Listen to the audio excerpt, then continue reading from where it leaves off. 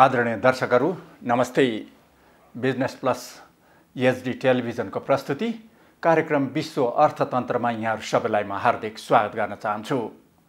कार्यक्रम विश्व अर्थतन्त्रमा हामी छिमेकी राष्ट्रहरू दक्षिण एसियाली राष्ट्रहरू अन्य ठुला अर्थतन्त्र भएका राष्ट्रहरूमा हुने आर्थिक गतिविधिहरू विभिन्न घटनाक्रम तिनले पार्ने प्रभाव अर्थ राजनीति बजारको झुकाउ लगायतका बारेमा जानकारी रिपोर्टहरू प्रस्तुत गर्दै आइरहेका छौँ।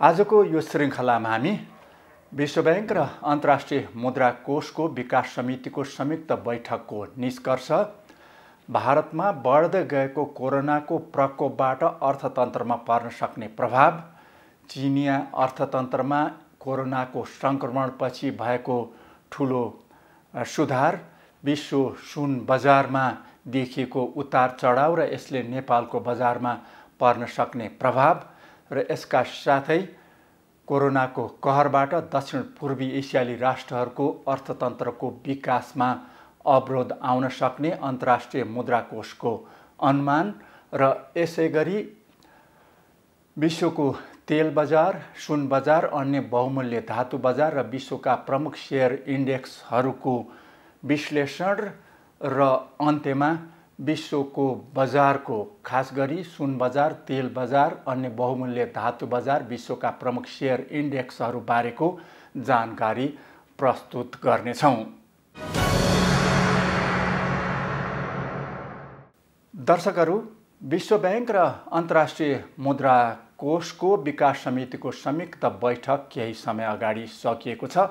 यो बैठकले विश्वमा कोरोनाबाट गरिबहरू झन् गरिब हुँदै गएको र धनीहरू झन् धनी हुँदै गएको भन्दै चिन्ता व्यक्त गरेको छ र कोरोनाको प्रभावले अर्थतन्त्रमा ठुलो नकारात्मक प्रभाव पर्ने राष्ट्रहरूलाई सहयोग पुर्याउन विकास समितिले विश्वका समृद्ध राष्ट्रहरूलाई आग्रह पनि गरेको छ विश्व ब्याङ्क समूहलाई आग्रह गरेको छ। यस सम्बन्धमा तयार पारिएको यो एक रिपोर्ट।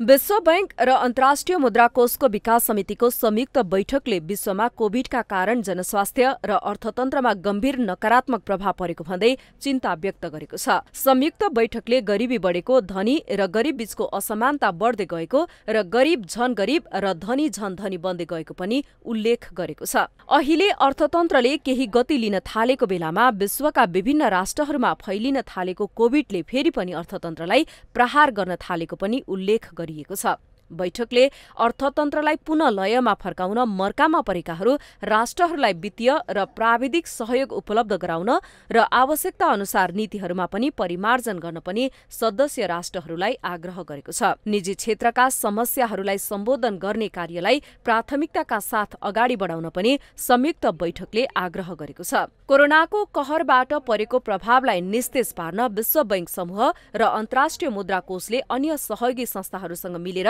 काम गर्न जरुरी रहेको पनि बैठकले उल्लेख गरेको छ। विकास समितिको बैठकले विश्व बैंक समूहलाई गरिबी निवारण गर्दै हरित दिगो र समावेशी विकासको पथमा अगाडि बढ़िरहेका राष्ट्रहरूलाई दिँदै आएको सहयोग जारी राख्न पनि आग्रह गरेको छ। कोरोनाको प्रकोप अन्त्य गर्नका लागि जति सक्यो चाँडो कोरोना विरुद्धको खोप दिनुपर्ने उल्लेख गर्दै बैठकले कोरोना विरुद्धको खोप कार्यक्रम सञ्चालन गर्न विश्व बैंकले यथासघ्य रूपमा खास गरी विपन्न राष्ट्रहरूलाई सहयोग उपलब्ध गराउने प्रतिबद्धता पनि व्यक्त गरेको छ।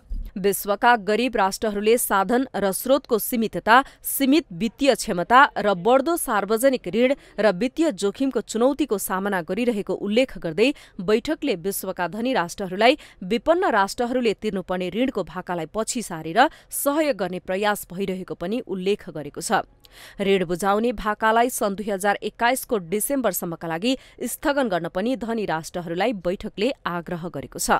बैठकले कोभिडको प्रकोप वर्षौंसम्म जारी रहने खतरा रहेको उल्लेख गर्दै लकडाउन र आवागमनमा गरिने बन्देजले थुप्रै मानिसहरूको रोजगारी गुमेको उल्लेख गर्दै यसको मारमा विशेषता महिला युवा सीमान्तकृत समूह परेको र यसले सामाजिक समावेशिता आघात पुगेको पनि विश्व बैंक र अन्तर्राष्ट्रिय मुद्रा कोषको विकास समितिको संयुक्त बैठक बैठकको ठहर रहेको छ। शैक्षिक संस्थाहरू बन्द हुँदा दीर्घकालीन रूपमा जनशक्तिको उत्पादनमा नकारात्मक प्रभाव पर्ने र यसले अर्थतन्त्रको विकास प्रयास पनि प्रभावित हुने पनि विश्लेषण गरिएको छ। मुद्रास्फीति बढ्ने र आमदानी घट्ने हुनाले खाद्य सुरक्षामा समेत नकारात्मक प्रभाव पर्ने पनि संयुक्त बैठकपछि जारी विज्ञप्तिमा जनाइएको छ। अहिले देखिएका समस्यालाई सम्बोधन गर्नका लागि विश्व बैंकको भूमिका अझै महत्वपूर्ण रहेको उल्लेख गर्दै बैठकले विश्व बैंक समूहलाई सबै सदस्य राष्ट्रहरूको व्यापारको अभिवृद्धि गर्ने विदेशी लगानी भित्र्याउने कार्यमा सहयोग गर्न आग्रह गर्दै सरकारी र निजी दुवै क्षेत्रलाई प्राविधिक र अन्य सहयोग बढाउन पनि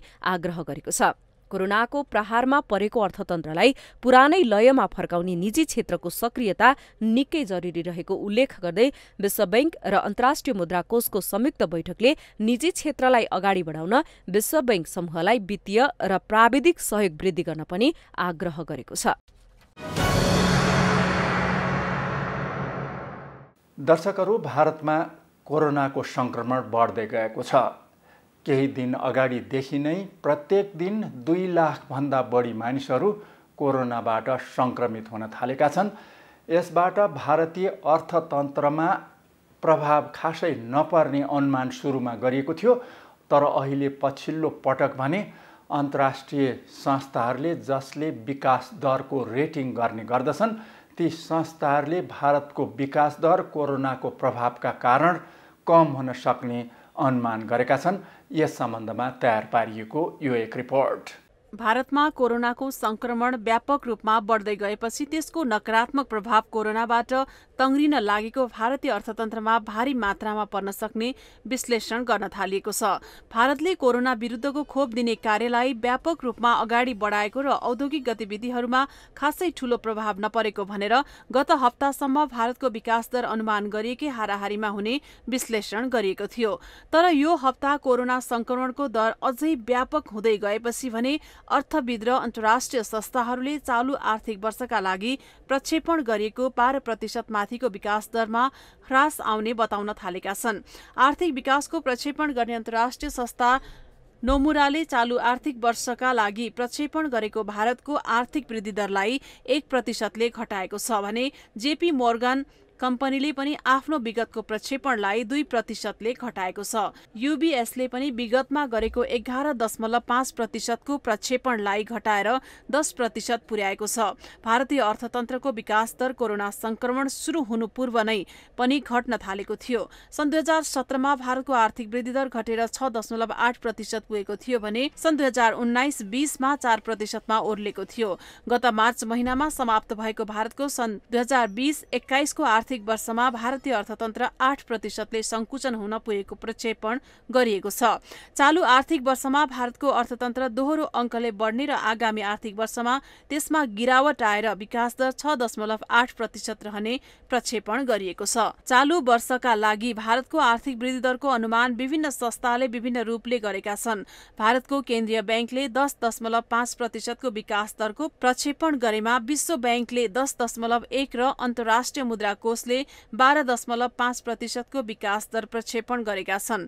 भारतमा अहिले कोरोना संक्रमण बढेर दैनिक रूपमा दुई लाख एकसठी हजार भन्दा बढी मानिस संक्रमित र दैनिक रूपमा एक हजार पाँच सय जना भन्दा बढीको मृत्यु हुन थालेपछि त्यसको प्रभाव आर्थिक वृद्धि दरमा पनि पर्ने अन्तर्राष्ट्रिय संस्थाहरूको विश्लेषण रहेको छ। अब केही हप्तामा भारतको कोरोनाको संक्रमण कस्तो रहने हो त्यसैले विकास दरमा पर्ने प्रभावको तस्विर आउने पनि विश्लेषकहरूको भनाइरहेको छ। कोरोनाको अहिलेको संक्रमणको वेगलाई रोक्न नसकेको अवस्थामा भारतको आर्थिक वृद्धि दर चालु आर्थिक वर्षमा दस प्रतिशत भन्दा तल झर्ने पनि प्रक्षेपण गरिएको छ।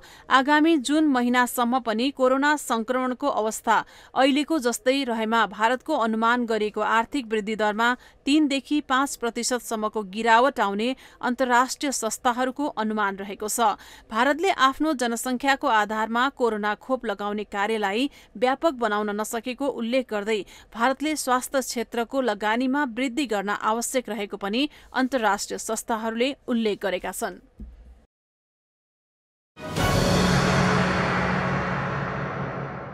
दर्शकहरू विश्वमा सुनको मूल्यमा उतार चढाव देखिएको छ र अहिले पछिल्लो समयमा सुनको भाउ बढ्दै गएको छ र विश्व बजारमा सुनको मूल्यमा भएको वृद्धिसँगै नेपालको सुन बजार पनि प्रभावित हुन थालेको छ। यस सम्बन्धमा तयार पारिएको यो एक रिपोर्ट। केही समय यता सुन बजारमा उतार चढाव देखिएको छ। सुनको मूल्य गत मार्च महिनामा एक समयमा प्रति आउन्स सोह्र सय साठी डलरसम्म तल ओर्लिएको थियो। तर त्यो मूल्य धेरै समय रहेन र सुनको मूल्यमा वृद्धि भएर अहिले प्रति आउन्स सत्र सय चालिसको वरिपरि नै रहेको थियो। पछिल्लो समयमा सुनको मूल्य बढेर अठार सय डलरसम्म पुग्यो र अहिले फेरि केही घटेर सत्र सय साठीदेखि सत्तरी डलरको हाराहारीमा घुमिरहेको छ। अमेरिकी डलर केही कमजोर भएका कारणले पनि सुनको मूल्य बढ्न मद्दत पुगेको थियो। तर अमेरिकी बन्डले दिने प्रतिफलमा वृद्धि भएपछि सुनको मूल्य केही घट्न थालेको हो। अहिले केही समयपछि आपूर्ति गरिने सुनको मूल्य र अहिलेको मूल्यमा खासै अन्तर नदेखिएकोले सुनको मूल्य सत्र सय सत्तरी डलरका हाराहारीमा अरू केही महिना अड्ने विश्लेषण गरिएको छ। सुनको मूल्यमा अन्य आर्थिक गतिविधिको पनि प्रत्यक्ष प्रभाव पर्ने भएकोले बेला बेलामा विश्लेषकहरूको प्रक्षेपणमा फरक पर्ने देखिएको छ। सन् दुई हजार एक्काइसमा सुनको मूल्य प्रति आउन्स दुई हजार डलरमाथि पुग्ने अनुमान गत वर्षको अन्त्यमा गरिएको थियो। तर मार्च महिनाको अन्त्य र अप्रेल महिनाको सुरुसम्म आइपुग्दा त्यसो भएन। मूल्य घट्ने क्रममा रहेको अवस्थामा सुनको मूल्य सोह्र सय डलरसम्म तल ओर्लेमा त्यो घटेर पन्ध्र सय डलर प्रति आउन्ससम्म पनि तल झर्ने अनुमान गरिएको थियो। तर त्यसो भएन। सोह्र सय साठी डलरको बिन्दुलाई मूल्यले थेग्यो र मूल्य बढ्न थाल्यो। अहिलेकै अवस्था जारी रहेमा सुनको मूल्य घट्ने कारण नरहेको र सुनको मूल्य प्रति आउन्स अठार सय बहत्तर डलरसम्म पुग्ने र मूल्य दुई हजार डलरसम्म पनि उक्लिने अनुमान सुन बजारको विश्लेषण। गर्ने विज्ञहरूले गरेका छन्। अन्तर्राष्ट्रिय बजारमा सुनको मूल्यमा आउने उतार चढावले नेपालको बजार प्रत्यक्ष रूपमा प्रभावित हुने गरेको छ।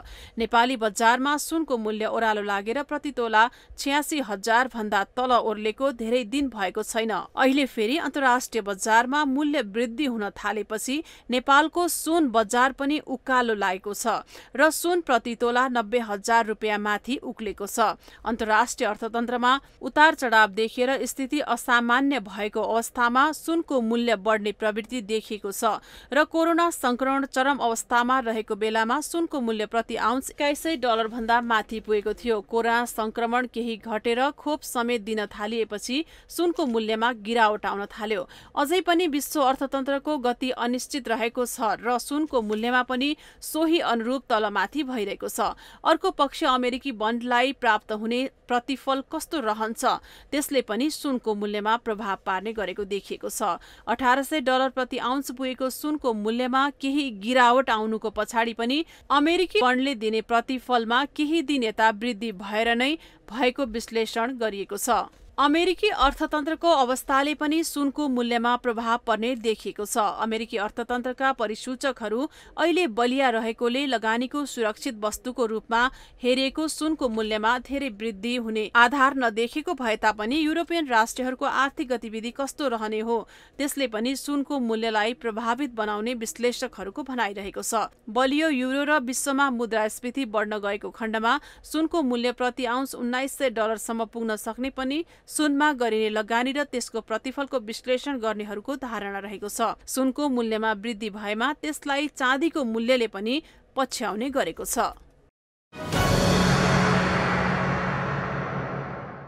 दर्शकहरू सुनको मूल्यमा भइरहेको उतार चढावका बारेमा हामीले नेपाल सुन चाँदी रत्न तथा आभूषण महासङ्घका अध्यक्ष रमेश महर्जनसँग संक्षेप कुराकानी गरेका छौँ।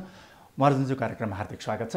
र अहिले यो जुन सुनको मूल्यमा खास गरी अब चाँदीको मूल्यमा पनि सामान्य उतार चढाव आइरहेको छ तामाको मूल्यमा पनि उतार चढाव आइरहेको छ यो सुन चाँदी खास गरी सुनको मूल्यमा भइरहेको उतार चढाव कस्तो होला? अब अन्तर्राष्ट्रिय बजारमा अहिले उतार चढाव देखिन्छ कस्तो अनुमान गर्न सकिन्छ?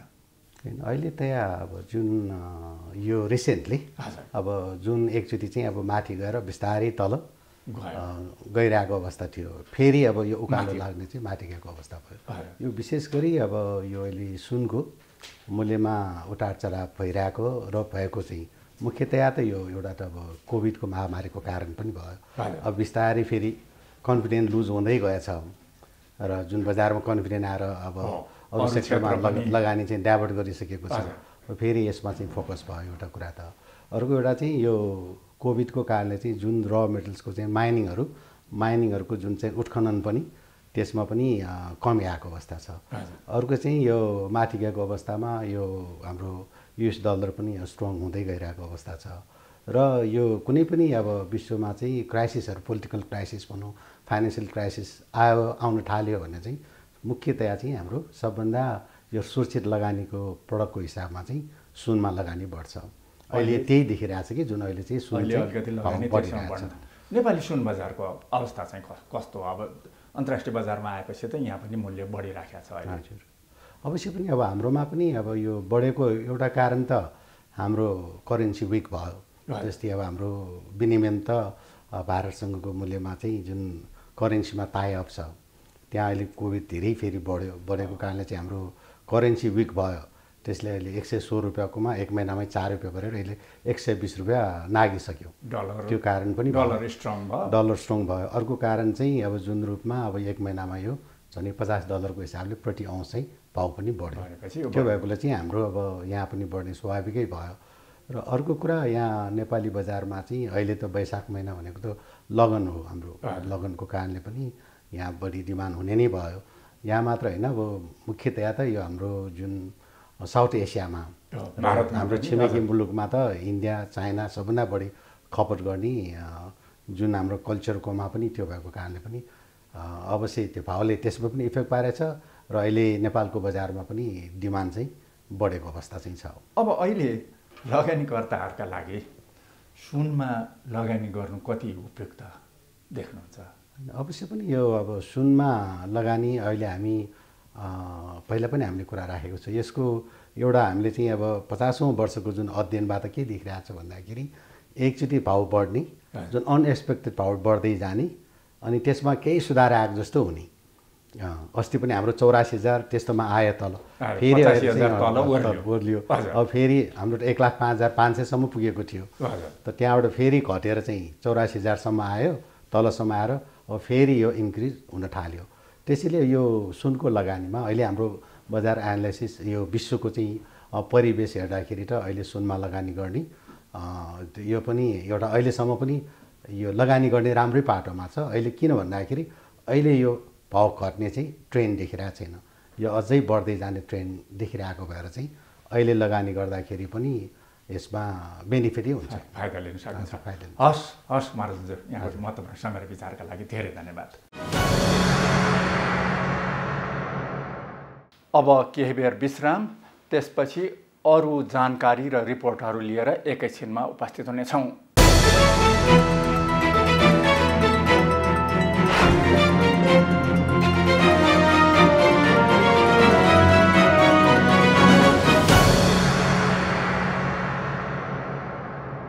फेरि पनि स्वागत छ आदरणीय दर्शकहरू। कार्यक्रम विश्व अर्थतन्त्रमा। दर्शकहरू कोरोनाको कहरपछि चिनिया अर्थतन्त्रमा व्यापक सुधार देखिएको छ।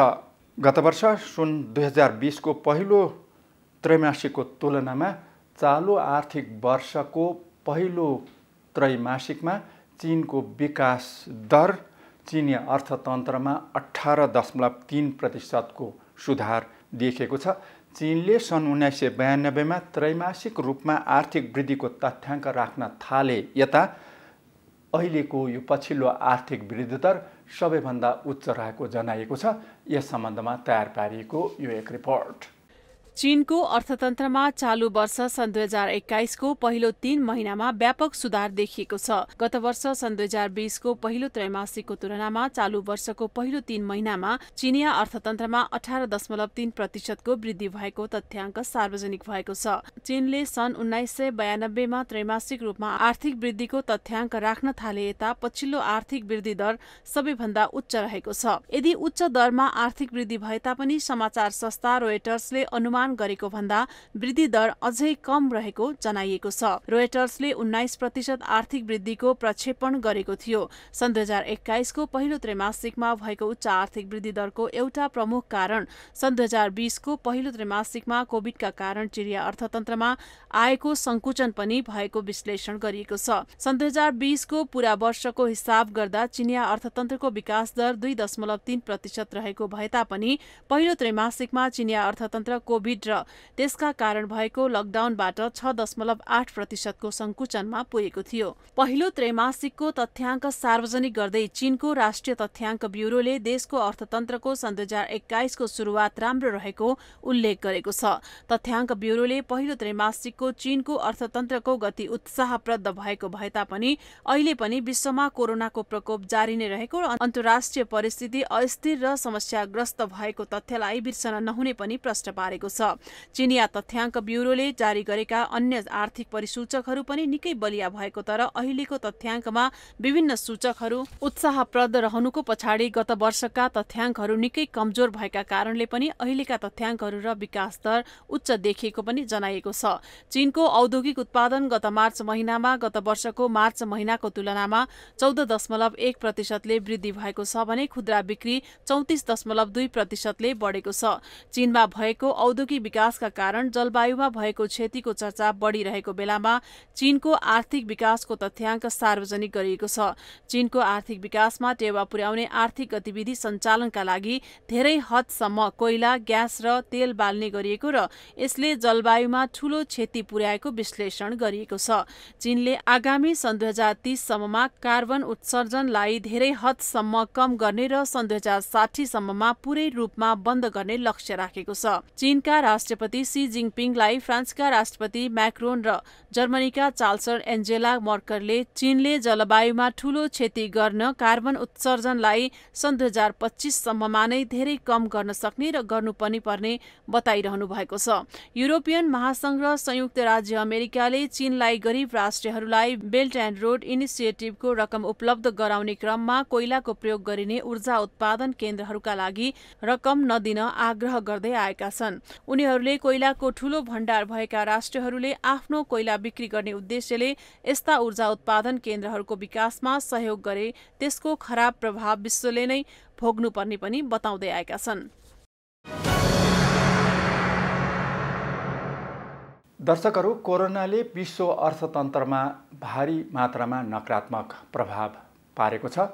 अहिले पनि विभिन्न देशहरूमा सङ्क्रमणको दर बढी नै रहेको छ। दक्षिण पूर्वी एसियाली राष्ट्रहरूमा पनि सङ्क्रमण बढ्न थालेपछि ती राष्ट्रहरूको विकास दर कम हुने अनुमान अन्तर्राष्ट्रिय मुद्रा कोषले तयार पारेको छ र यही अनुरूप दक्षिण पूर्वी एसियाली राष्ट्रहरूको आर्थिक विकास दरमा जुन अन्तर्राष्ट्रिय मुद्रा कोषले विगतमा प्रक्षेपण गरेको थियो त्यो प्राप्त नहुने र त्यसमा गिरावट आउने अनुमान गरिएको छ। यस सम्बन्धमा तयार पारिएको यो एक रिपोर्ट। अन्तर्राष्ट्रिय मुद्रा कोषले कतिपय दक्षिण पूर्वी एसियाली राष्ट्रहरूको सन् दुई हजार एक्काइसका लागि अनुमान गरिएको आर्थिक विकास दरलाई घटाएको छ। अन्तर्राष्ट्रिय मुद्रा कोषले इन्डोनेसिया मलेसिया थाइल्याण्ड फिलिपिन्स र भियतनामको आर्थिक वृद्धि दर पाँच दशमलव दुई प्रतिशत रहने अनुमान गरेकोमा त्यसलाई घटाएर चार दशमलव नौ प्रतिशतमा झारेको छ। एसिया र प्रशान्त क्षेत्रका लागि अन्तर्राष्ट्रिय मुद्रा कोषका उपनिर्देशक जोनाथन ओस्त्रीले ती देशहरूमा कोरोना संक्रमण बढ्दै गएको र सो संक्रमणका कारण गरिएको लकडाउन र अन्य निषेधका कदमले अर्थतन्त्रको विकासका नकारात्मक प्रभाव पर्न थालेकोले विकास दर पनि प्रभावित हुने आधारमा विकास दर घटाइएको बताउनु भएको छ। उहाँले कोरोना संक्रमण केही देशहरूमा आश्चर्यजनक रूपमा फैलिन थालेकोले पर्यटन क्षेत्रमा परिरहेको नकारात्मक प्रभावप्रति अन्तर्राष्ट्रिय मुद्राकोष चिन्तित रहेको पनि बताउनुभयो। इन्डोनेसिया मलेसिया र फिलिपिन्सले कोविड फैलिन थालेपछि थुप्रै पाबन्दीको घोषणा गरिएको उल्लेख गर्दै ती राष्ट्रहरूमा कोरोना विरुद्धको खोप दिने कार्य पनि ढिलो गतिमा भइरहेको पनि अन्तर्राष्ट्रिय मुद्राकोषका वरिष्ठ अधिकारीको भनाइ छ। अन्तर्राष्ट्रिय मुद्राकोषले संकलन गरेको विश्वव्यापी खोप अभियानको तथ्याङ्कमा इन्डोनेसियाका तीन दशमलव सात छ प्रतिशत मानिसले कम्तीमा पनि एक चरणको कोरोना विरुद्धको खोप लिएको र यो संख्या सरदरमा विश्वको पाँच दशमलव सात छ प्रतिशतको खोप लिएको तथ्याङ्क भन्दा निकै कम रहेको पनि अन्तर्राष्ट्रिय मुद्रा कोषको भनाइरहेको छ। अन्तर्राष्ट्रिय मुद्रा कोषले दक्षिण पूर्वी एसियाली राष्ट्रहरू प्रशान्त क्षेत्रका राष्ट्रहरू र अन्य एसियाली राष्ट्रहरूको अर्थतन्त्र उल्लेख्य दरमा उकालो लाग्ने प्रक्षेपण गरेकोमा कोरोनाको दोस्रो लहरका कारण अर्थतन्त्र प्रभावित बनेको भन्दै प्रक्षेपणलाई घटाएको हो। अमेरिकी अर्थतन्त्रमा आउने सुधार र अमेरिकी वित्तीय क्षेत्रको सुदृढ अवस्थाको प्रभाव एसियाली अर्थतन्त्रमा पनि सकारात्मक पर्ने अन्तर्राष्ट्रिय मुद्रा कोषको ठहर रहेको छ। एसियाली राष्ट्रहरूमा भारत र चीनको आर्थिक विकासको प्रक्षेपणलाई भने आइएमएफले अरू बढाएको छ। तर भारतमा पछिल्लो समयमा अत्याधिक रूपमा बढेको कारण भारतको आर्थिक वृद्धि दरलाई अन्य अन्तर्राष्ट्रिय संस्थाहरूले भने घटाएका छन्। चीनको विकास दर आठ दशमलव एक प्रतिशत रहने प्रक्षेपण यो वर्षको सुरुमा गरिएको भए तापनि त्यसलाई अहिले बढाएर आठ दशमलव चार प्रतिशत पुर्याएको छ। यसैगरी भारतको आर्थिक विकास दर पनि आइएमएफले सन् दुई हजार एक्काइसको सुरुमा एघार दशमलव पाँच प्रतिशत रहने प्रक्षेपण गरेकोमा गत हप्ता मात्रै बाह्र दशमलव पाँच प्रतिशतको प्रक्षेपण गरेको छ। भारतमा कोरोना संक्रमण व्यापक रूपमा बढ्दै गएको र यसले अर्थतन्त्रलाई प्रहार गर्ने खतरा बढे तापनि अहिले पनि अन्तर्राष्ट्रिय मुद्राकोष आर्थिक वृद्धिको पूर्व अनुमानमा अडिक रहेको पनि अन्तर्राष्ट्रिय मुद्राकोषका वरिष्ठ अधिकारीले बताउनु भएको छ। दर्शकहरू लिबियाको तेल उत्पादन र निर्यातमा अवरोध देखा परेको र साथै अमेरिकी जुन तेल भण्डारण छ त्यसमा पनि गिरावट आउन थालेको तथ्याङ्क सार्वजनिक भएपछि विश्वमा तेल बजारको मूल्य यो हप्ता केही बढेको छ। यसै गरी सुनको मूल्य पनि बढेको छ भने अन्य बहुमूल्य धातुहरूको मूल्यमा पनि वृद्धि भएको देखिएको छ। र विश्वका प्रमुख सेयर इन्डेक्सहरूमा सामान्य उतार चढाउ देखिएको छ। एसियाई सेयर इन्डेक्सहरू केही घटेका छन् भने केहीमा वृद्धि भएको छ। भारतीय सेयर इन्डेक्समा गिरावट आएको छ। यस सम्बन्धमा तयार पारिएको यो विश्लेषणात्मक रिपोर्ट। अन्तर्राष्ट्रिय बजारमा यो हप्ता तेलको मूल्यमा सामान्य उतार चढाव आएको छ र सप्ताहको अन्त्यसम्म आइपुग्दा तेलको मूल्य केही कम भएको छ। गत हप्ताको अन्त्यमा अन्तर्राष्ट्रिय बजारमा ब्रेन्डको मूल्य प्रति ब्यारेल सडसठी डलर नब्बे सेन्टसम्म पुगेको। यो हप्ताको अन्त्यसम्म आइपुग्दा यसमा सामान्य गिरावट आएर पैसठी डलर भन्दा केही माथि पुगेको छ। अमेरिकी उत्पादन वेस्ट टेक्सस इन्टरमिडिएटमा पनि गत हप्ताको तुलनामा मूल्य केही घटेको छ। यद्यपि सप्ताहको मध्यमा तेलको मूल्य अझै घटेको थियो तर लिबियाको उत्पादनमा समस्या आएको देखिएपछि यसमा सामान्य सुधार भएर ब्रेन्ट प्रति ब्यारेल पैसठी डलर माथि पुगेको हो। तेलको मूल्य आगामी केही हप्तासम्म पैसठी डलर प्रति ब्यारेलकै वरिपरि घुम्ने अनुमान गरिएको छ। सुनको मूल्यमा पनि यो हप्ता वृद्धि भएको छ। गत हप्ता सुनको मूल्य प्रति आउन्स एक हजार सात सय पैसठी डलरमा कारोबार भएको थियो तर यो हप्ता यो बढेर एक हजार सात सय नब्बे डलर भन्दा माथि पुग्यो। शुक्रबार यसमा सामान्य गिरावट आएको छ तैपनि प्रति आउन्स एक हजार सात सय अस्सी डलर भन्दा माथि नै मूल्य रहेको छ। यसै गरी चाँदी र तामाको मूल्यमा पनि गत हप्ताको दाजोमा सामान्य वृद्धि भएको छ। शुक्रबार पनि यी दुवै धातुको मूल्यमा केही वृद्धि नै भएको छ। चाँदी प्रति आउन्स छब्बिस डलर भन्दा माथि पुगेको छ। यसै गरी तामाको मूल्य पनि शुक्रबार समेत केही बढेर प्रति पाउन्ड चार डलर अठाइस सेन्ट माथि पुगेको छ। शेयर बजारतर्फ भारतमा निरन्तर बढ्दो कारोबारको प्रभाव त्यहाँको शेयर इन्डेक्स सेन्ससमा देखिएको छ। सेन्सेक्स घटेर अडचालिस हजारको अङ्कभन्दा तल ओह्रालो लागेको छ। निफ्टीमा भने त्यति धेरै गिरावट देखिएको छैन। एसियाई शेयर बजारको कुरा गर्दा चीनको साङ्घाई कम्पोजिटमा गत हप्ताको तुलनामा केही गिरावट आएर तीन हजार चार सय साठीको वरिपरि पुगेको छ भने जापानको निकी गत हप्ताको तुलनामा केही बढेर करिब उनातिस हजार अङ्कमा पुगेको छ। हङकङको हाङसेङ गत हप्ताको तुलनामा केही घटेर उनातिस हजारको अङ्कमा रहेको छ। कोरियाको कोस्पीमा भने केही सुधार देखिएको छ र कोस्पी करिब बत्तीस सयको अङ्कमा पुगेको छ। अमेरिकी शेयर बजारमा यो हप्ता सुधार देखिएको थियो तर बिहिबार भने सबै अमेरिकी इन्डेक्समा गिरावट आएको छ। यसो भए तापनि हप्ताभरको हिसाब गर्दा भने डाउ जोन्समा सुधार भएर तेत्तिस हजार आठ सय पन्ध्र अङ्कमा पुगेको छ भने एस एन्ड पी पनि बढेर एकचालिस सय चौतिस अङ्कमा पुगेको छ। नास्डाकमा पनि सुधार भएर तेह्र हजार आठ सय अठार अङ्कमा पुगेको छ। युरोपीय शेयर बजारमा यो हप्ता खासै ठूलो उतार चढाव देखिएन। जर्मनीको डाक्स केही बढेर पन्ध्र हजार तीन सय अङ्क माथि पुगेको छ। यसै गरी बेलायतको फेट्सेमा पनि सामान्य वृद्धि भएर छ हजार नौ सयको अङ्कमा पुगेको छ। फ्रान्सको सिएसीमा पनि सामान्य सुधार भएर छ हजार अङ्क नागेको छ।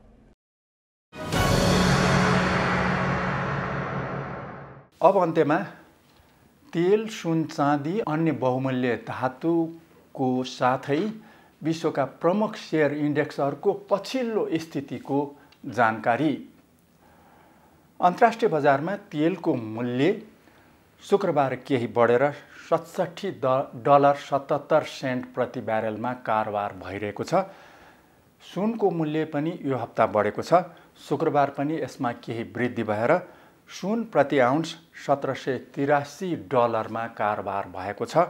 चाँदीको मूल्यमा पनि वृद्धि भइरहेको थियो तर शुक्रबार यसमा सामान्य गिरावट आएको भए तापनि गत हप्ताको दाँजमा वृद्धि नै देखिएको छ र शुक्रबार प्रति आउन्स छब्बिस डलर बाह्र सेन्टमा कारोबार भएको छ। तामाको मूल्यमा पनि केही समय यता वृद्धि भइरहेको छ र शुक्रबार पनि यसमा सामान्य वृद्धि देखिएको छ र तामा प्रति पाउन्ड चार डलर तिस सेन्टमा कारोबार भएको छ। विश्वका प्रमुख सेयर इन्डेक्समा यो हप्ता सामान्य उतार चढाउ देखिएको छ। एसियाई सेयर इन्डेक्सहरू केही घटेका छन् भने केहीमा वृद्धि भएको छ। अमेरिकी र युरोपिय सेयर इन्डेक्सहरू बढेका छन्। एसिया बजारमा भारतको सेन्सेक्समा यो हप्ता पनि कोरोनाको प्रभाव देखिएको छ र भारतको सेन्सेक्स शुक्रबार सत्तालिस हजार नौ सय अठसट्ठी अङ्कमा पुगेको छ। यसै गरी निफ्टीमा पनि शुक्रबार केही गिरावट आएको छ र निफ्टी चौध हजार तिन सय छैसठी अङ्कमा पुगेको छ। चिनको साङ्घाई कम्पोजिटमा शुक्रबार सामान्य वृद्धि भएर तिन हजार चार सय चौहत्तर अङ्कमा बन्द भएको छ। जापानी सेयर इन्डेक्स निकी शुक्रबार एक सय सतसट्ठी अङ्कले घटेर उनातिस हजार बिस अङ्कमा बन्द भएको छ। हङकङको हाङसेङ इन्डेक्स तिन सय अङ्कले बढेर शुक्रबार अठाइस हजार पचपन्न अङ्कमा बन्द भएको छ। कोरियाको कोस्पी पनि शुक्रबार केही बढेर तिन हजार एक सय छयासी अङ्कमा बन्द भएको छ। युरोपिय सेयर इन्डेक्समा जर्मनीको ड्याक्समा सामान्य गिरावट आएर पन्ध्र हजार दुई सय चौरानब्बे अङ्कमा पुगेको छ।